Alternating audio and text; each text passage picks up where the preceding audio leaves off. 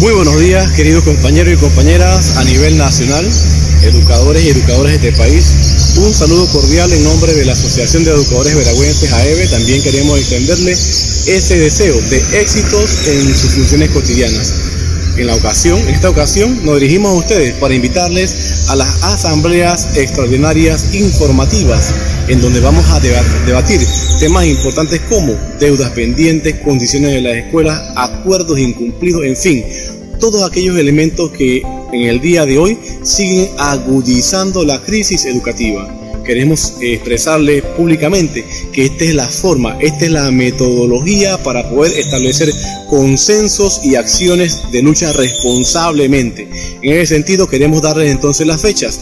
Para el día viernes 17 de agosto estaremos convocándonos y reuniéndonos en la ciudad de Santiago de Veraguas, específicamente en el edificio del educador veragüense. Justamente en esta área, en, este, en esta convocatoria van a asistir compañeros de Veraguas, Coclé, Herrera y Los Santos. Y por supuesto las temáticas muy importantes que allí vamos a poder compartir. Es importante compañeros que recordemos que históricamente este es el mecanismo de consulta y asesoría es el mecanismo democrático en el cual se toma en cuenta cada uno del pensamiento de los docentes que participamos para poder establecer como un colectivo entonces las acciones a seguir.